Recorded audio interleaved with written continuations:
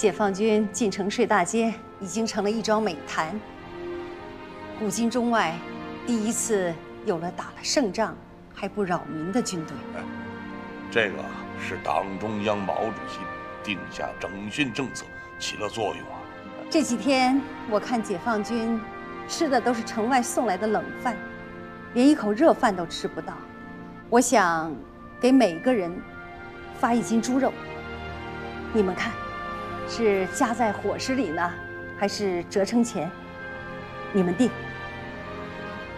总之，我要慰问进城的所有解放军。